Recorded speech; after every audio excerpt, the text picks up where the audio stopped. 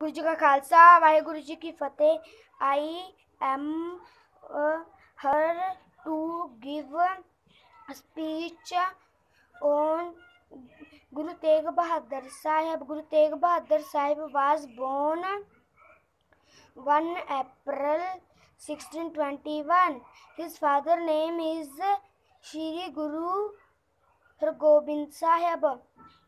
And mother name is Nanki, Nanki Devi. He became ninth, ninth Guru of Sikhs, Sikh. Extracted wanted to make India Islamic country. A group of Kashmiri Pandit. Kashmiri Pandit.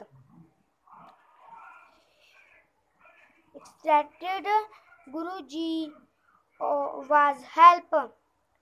Guruji for extracted extracted the Guruji for saving in Hinduism Hinduism 24 24 November 1675 thank you